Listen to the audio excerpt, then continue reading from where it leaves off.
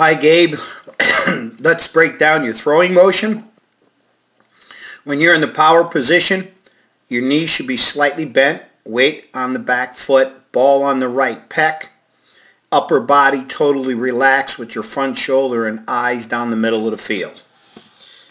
When you take your Ready? first step, that left foot, and you didn't do it there, that left foot should open up just slightly outside the right shoulder of your receiver. And with your first step, there's no way that left foot's going to open up. Now, what that does, when you open up, it allows your hips to square to the target. And right now you can see it's not square to the target. Okay? Next thing, let's take a look at your throwing motion. Your right elbow, not good. You got to get that elbow we're in this kind of an angle there and the ball is here. All right, so we got to correct that.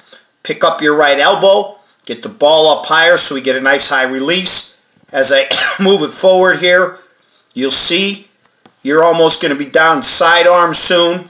All you have to do is drop it a little bit more on your sidearm and that's not good.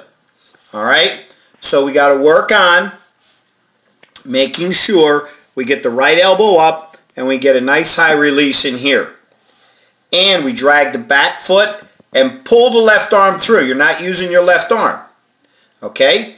Step forward outside with that left foot. Pull your left arm through. Follow through to the ball, to the receiver with your right hand. Snap it out there and bring it down to the opposite thigh.